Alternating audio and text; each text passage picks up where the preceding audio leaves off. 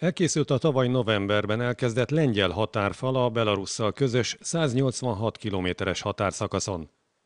Az 5,5 méter magas acélszerkezetet a lengyel miniszterelnök és a belügyminiszter avatta fel. Mateusz Morawiecki szerint az új határfal a lengyelek Oroszországgal szembeni fellépésének is részét képezi. Az ukrajnai háború első jele az volt, hogy Alexander Lukashenko belarusz elnök megtámadta a lengyel határt.